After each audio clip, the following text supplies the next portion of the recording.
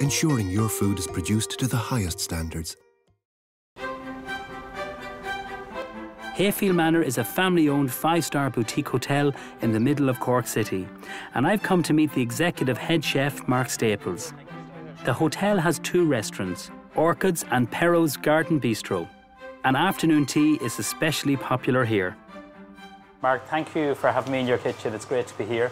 I've stayed here a few times. I've always enjoyed the whole experience. Good. From the food, the staff, the decor. It's a very special place. So, what are you going to cook for me today? We are going to cook a dish using this lovely duck, Aylesbury duck. It's Carrigaline Marlow County Cork duck, free range duck. We're going to show you how to butcher it. We're going to do, use the legs, we're going to use the breast, and uh, duck fat to season some potatoes. Wow, so you're using every element of the Use duck. every element of a duck. It's just whipping up the wishbone. The duck legs, cut them down here, snap them open, and that's that. Now we've cooked these overnight with lots of orange and carrots and garlic, celery, salt and pepper. Lovely taste going through that now. I'm just slicing my knife down here as close as bone so we're not wasting any. Yeah. You're noticing them, the skin's lovely and dry, so we get crispy. So just trimming this up, making it look pretty. All this will get rendered down and used up in our dish later on. Just trim that there now. And a little chef's trick here. Sharp knife, peel of a knife. So that duck breast is ready. It along here to help it render down a little bit more without nipping the flesh. Yeah, that's great. So that's Look ready to that. go. It's, it's really meaty, isn't it? So you season up. Season with salt and And pepper this out of as we do. Thank you. Yeah. And then secret to a nice duck and duck breast is to render the skin down. Yes. You don't want a soggy duck breast. So nice medium, medium height heat pan. Mm-hmm. No oil in it. You'll see later why. Straight down, skin side down. So it just renders down. All the oil is going to come out of the duck. Nice. So we're going to leave it on the stove top for about five minutes now, rendering down, getting a crisp skin. Perfect. In the meantime, we have the duck leg. So you've this cooked already. This is cooked. So a duck leg is put in the oven in its own fat with some orange, some thyme, some garlic, rosemary, lots of aromatic. That's it there. Lovely duck meat coming in there. It's broken down, and everything that it's cooked in is, is flavour. So we're building up the flavour all the time with this dish. Take a little bit here. So what have we got here? Uh, pastry? puff pastry discs. So it's Ah. cut, cut into circles. Yeah. Put a little bit of this lovely confit meat in each one. Will you do those two for Yeah, me? of course. Will. This is lovely that you're showcasing two different variations with the duck. There's too much of a nice produce to waste Yeah. any of it. But Are you happy with that? I enough? Yep, plenty Okay. in there. And we're Now- just going to egg wash each side. Yeah. And you can just squash them together like a pasty. Is this something from your childhood or something like this you remember? Yeah, it no? does have my, my heritage. Okay. Um, from coal miners who used to eat pasties. And they're basically a little pie, aren't they? Basically, a, a little pie, and they used to be, one end used to be sweet, the other end used to be savoury. So the miners pick up by the crust with fingers like this, Really? eat one end, that's savoury, and finish on the sweet end. I never knew that.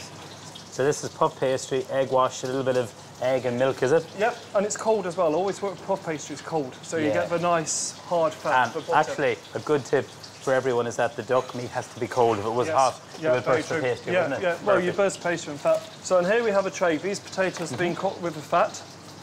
This is like a potato fondant, cut Yeah, out like with a cutter. Cut out nicely. Cooked in a little bit of a duck stock, Yeah. the fat and the butter. Brilliant. Of the duck. So what we do, just check on the duck. Beautiful colour, nice Yeah. Mm. crispy skin. Five five minutes in total, really. That's a really good tip, dry pan. A lot of people say to me they're nervous about cooking duck. It's either too tough, too chewy, it dries out. Also, good. when you're cooking meat as well, let it rest. You can give it five, ten minutes just to relax from Yeah, being yeah. out of the oven. It's very tense after being in the oven. Nice little brush of egg yolk onto this, goes onto a tray. Parchment paper so it doesn't stick to a Nothing tray. sticks. So we pop these in the oven now. The oven's been preheated to 180. And how long do you give them? We go give those about 10 minutes. The pastry is quite thin, Okay. oven's nice and hot. Would you finish your duck in the oven? Yeah, I'm just Ah, going okay. to pop that in the oven now. I'm going to ask you to do okay. that. So you've got a lovely duck, you pop that in the oven. Yeah, no problem. So, Mark, tell me about the hotel, the whole run of the, the business, the different operations, the restaurants. It's The a busy place. oh, it's a busy Yeah. place. I have 26 chefs in total. I have one chef that's in charge of bacon, the scones, all homemade breads, and the afternoon tea. We do what we call traditional afternoon tea. On stands, you have finger sandwiches, your scones, and all your pastries. Piano playing in the background, tea and white glove service. Very traditional there. Very nice. We have a fine dining restaurant. This is one of the dishes on fine dining restaurants, and then we have a bistro as well. So, Mark, many bedrooms in the hotel? We have 88 bedrooms, so busy breakfast going on in the morning. We do about 160 breakfasts, which is good. I think the duck is ready there now. Okay. We're going to give it a good rest while we get the rest of the dish finished off. That What are you looking for in the duck? Like, how do you know when it's cooked? I'm looking for a lovely colour. I know it's going to have good rest. It still feels that that'd be medium rare now by the time it's Nice and rested. spongy yeah, nice soft. and All right, spongy, yeah.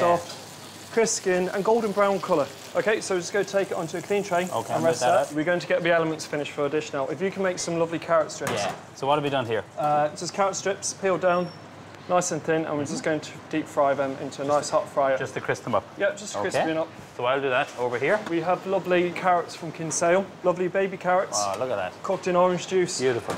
orange juice, butter, and star anise. So they're just getting reheated up. Are these okay for you?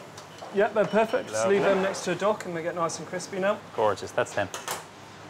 There's a Really bit of salt as well. Perfect. Lovely. We've got lovely puree here made, and there's just a hint at the last minute when you're pureeing it down, you add a little bit of buttermilk so it doesn't uh, split. We have lovely sauce going on here. So this is from the bones. The bones have been roasted off, cooked overnight with carrots, onions, celery, Lovely and colour. Lovely colour. You get that from the roast of the bones. Lots of red wine going in it. Mm. Stock's reduced down, and there's a little splash of orange juice. Can you just check for puff pastry? Yeah, so it should I be golden brown for me. So Ah, that's beautiful. I love the colour in the potato. Nice bit of texture. Beautiful. Going to leave that there. So uh, duck sauce, we're going Yeah. to boil up, and these are damsons, just coming into season. These are picked from my sous chef's farm down in West Cork. So this goes on the stove now. Lovely rich glaze coming through there. We're building texture, we're building taste. So duck has just relaxed in this nice ambient temperature still, still ready to go. And we start off by placing up the dish. A little potato at 12 o'clock, little duck pasty, and a smear of the carrot puree. And it's a tasting duck, so we'll just give nice one slice of duck. That's beautifully cooked. I like my meat nice and pink. It's the I only like way. it nice and pink, but not Yeah. rare. No, Nice I and pink. Yeah. Look how it's just cooked into cylinder shapes. There's great colour in the plate. That's beautiful. Sauce, I love the damsons in it. It's lovely. So you're giving fruit. so you're getting the fruit coming through without Yeah. being too fruity. You have to have the elements of a dish all working together. A little bit of sauce just around the outside. And then the wee carrot tops, just for a bit of greenery. And of course, these carrot crisps, which just add a further crisp texture to it. That's really, really pretty. Shall we taste? So I'm going to start off with the duck breast. A wee bit of the sauce, the puree. Mm. Go on, go for it. That's a fabulous dish. Good. I Thank hope I can so welcome you back for dinner Oh, sometimes and listen, join look you. forward to it. Thanks Thank you very much, Neven.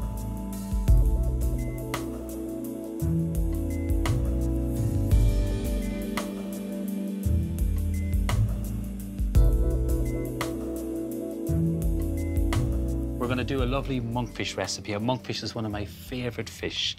It's firm, it's meaty, it's a beautiful Mediterranean stew I'm going to show you. So the whole thing is to start the foundation of the actual stew. We're going to put a little bit of oil into the pan, some olive oil, heat the pan. I have two red onions finely diced, a lovely sizzle, and the fennel. So try and chop it as fine as you can. Crush two cloves of garlic. Peel your garlic, crush them into the dish, mix this all through. Put the lid on this just for a couple of minutes. And then I'm going to talk about all the different spices we're going to put in. First one we have for a little bit of heat is some chili seeds. Nice and spicy. There's roughly about a teaspoonful there. We have some smoked sweet paprika, fennel seed. So we're using the fennel bulb and the seed. Aniseed licorice taste coming through from it. And then saffron. So this is some Spanish saffron, and these are the little strands which come from the crocus flower. Put about a tablespoon of boiling water on top of the saffron so you release that lovely flavour and colour. So I'm going to get all these spices in here, lift the lid off. So the first thing we'll put in is our fennel seeds, sprinkle them all over. We have our chili flakes, sweet paprika. You can use the smoked one if you want to, and then our saffron. So I'm going to put in the whole liquid here and stir this through. Coat all the lovely onion and fennel. Colour and the flavour will just come out of the saffron and all those spices. So that's what we have there. It's not cooked, but we've just started the cooking process. And then two cans of plum tomatoes, which are just roughly chopped. So they go in there. Stir this through. Break them up with the spoon if they're a little bit big. I'm using some chicken stock, or you can use some fish stock. If you do happen to have mussels, mussel stock is beautiful. And how you make mussel stock is by getting some mussels, make sure they're fresh, put them in a dry pan with some chopped shallot, or you can use onion, a little bit of leek and white wine, and some water. And when the mussels open up, don't take about maybe two or three minutes, you have the sweetest, most beautiful stock you'll ever taste. Definitely worth doing. One last thing to go in is these potatoes. Now, these are raw, but the skin is on, and we've cut them into quarters. Just sprinkle them all over and just stir this. These potatoes will take about 20 minutes until they're cooked. I'm just going to put the lid on. But what I'm going to show you is how to prepare the monkfish. These are the monkfish fillets. It has a meaty texture. It's not a strong fish in any way. It's beautiful. The membrane is removed. Your fishmonger will do this. You just simply, with a good sharp knife, you just take that off. And that comes off. You don't use that. The bone has been removed, but we want to cut this into nice big chunks. So what we call this is medallions. And in the Basque country, they serve it on the bone with a little bit of fried garlic, a little bit of chili and oil. It's so simple, so beautiful. Some sliced potatoes, absolutely gorgeous. If you were to use hake or cod, it would just fall to pieces. I would also think the likes of prawns would be really lovely and some mussels. So that's my monkfish. I'm going to turn down the heat just underneath my stew. Hear it bubbling away. Give it one final stir. And that is going to take 20 to 25 minutes to cook until the potatoes are cooked.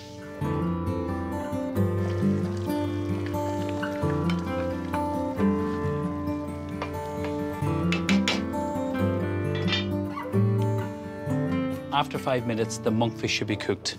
And that really depends on the thickness that you cut it. From start to finish, 25 minutes, and your stew is done. Make sure the potatoes are cooked. We're going to season this up with some sea salt and some black pepper. Now stir through.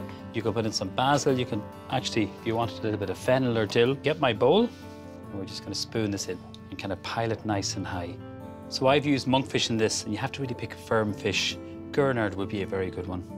A little bit more trickier to prepare, but it's still delicious. To finish this, sprinkle some freshly chopped flat leaf parsley. That's lovely freshness. This is a nice little texture thing. Toast some whole blanched almonds just under the grill, chop them like breadcrumbs, and mix them with a little bit of sweet paprika. So I think that looks beautiful, tastes even better. That's my Mediterranean monkfish stew with potatoes. You also have smoked paprika and the lovely almond crumb. In the next programme, I make jam with the wonderful Helen G. Discover how some of Ireland's best loved pottery is made, and visit the Michelin starred Campagne restaurant in Kilkenny. And of course, I'll be doing some cooking myself on board the Shannon Princess. I hope you can join me.